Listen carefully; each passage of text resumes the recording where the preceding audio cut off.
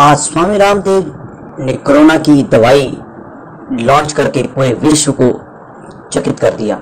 जी हाँ स्वामी रामदेव जी का दावा है कि उन्होंने कोरोना की दवाई कोरोनिल बना ली है। आज उसका विधिवत रूप से लॉन्च किया गया। लॉन्च करने की कुछ ही देर के बाद विरोध होना स्वाभाविक था, क्योंकि भारतीय संस्कृति सभ्यता से रिलेटेड कुछ भी बात होती है तो उसका विरोध होता ही है। परंतु इस बार विरोध किया गया आयुष मंत्रालय द्वारा। वहीं स्वामी रामदेव जी ने इसके लॉन्च के समय पूर्ण जानकारी दे दी थी, जिसे हम आपको दिखाने जा रहे हैं, कि किस प्रकार से इसमें शोध कार्य हुआ और कहाँ कहाँ उन्होंने ट्रायल किया। अब बात उठती है कुछ विशेष पत्रकार समूह द्वारा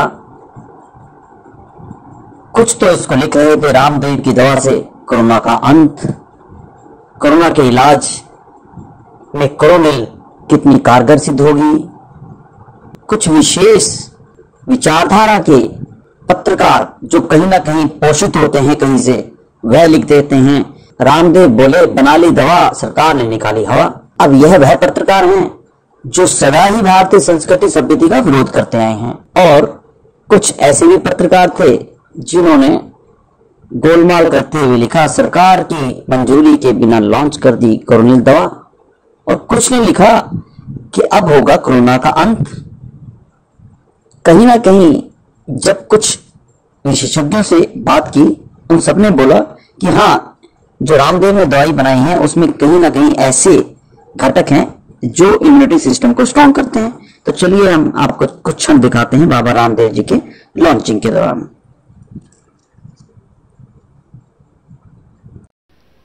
आज जिस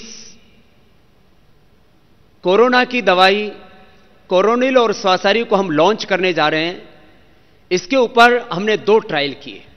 एक क्लिनिकल कंट्रोल स्टडी जो कि जो है दिल्ली से लेकर के, अहमदाबाद से लेकर के, मेरठ से लेकर के, देश के कई शहरों में की गई clinical control study clinical control case study के अंदर हमने 280 रोगियों को सम्मिलित किया और वहाँ क्लिनिकल केस स्टडी का रिज़ल्ट भी अपने आप में अप्रतिम था।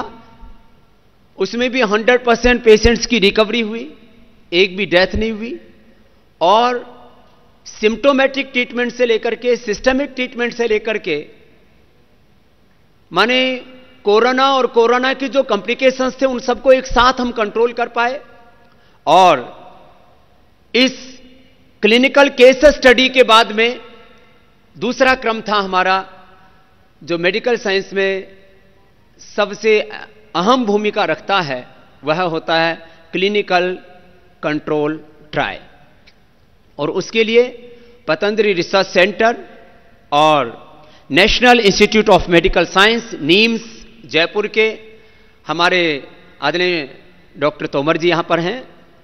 पीआरआई और नीम्स के संयुक्त प्रयास से यह संभव हो पाया कि 100 लोगों के ऊपर ये क्लिनिकल कंट्रोल स्टडी की गई।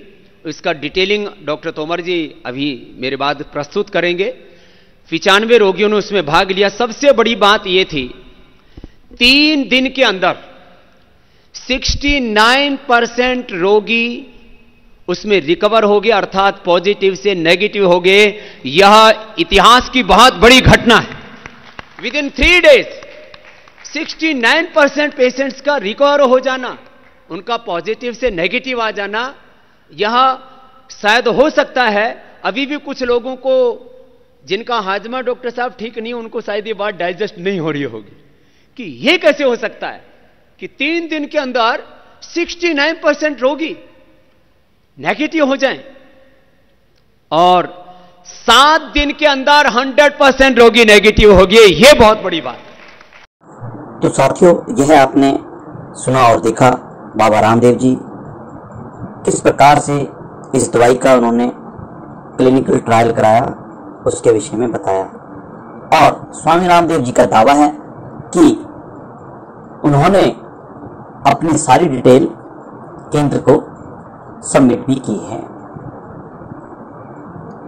तो अब यह देखना है, केंद्र सरकार इस दवा को उन्हें मार्केट में बेचने देती है या नहीं? परंतु एक बात तो सच है जो जो जड़ी बूटियों का इसमें प्रयोग किया गया है, हमारे छोटे आयुर्वेद का, दवाइयों का काम करने वाले, उसका प्रयोग करके इसका अवश्य ही दवाई के रूप में लोगों को देना शुरू कर देंगे। एक सकारात्मक पहल है। सब जानते थे, भारतीय जड़ी बूटियों में रहस्य है। आज कहीं ना कहीं वह पूरे विश्व को सामने दिखता नज़र आ रहा है। विरोध होना स्वाभाविक है, परंतु कब तक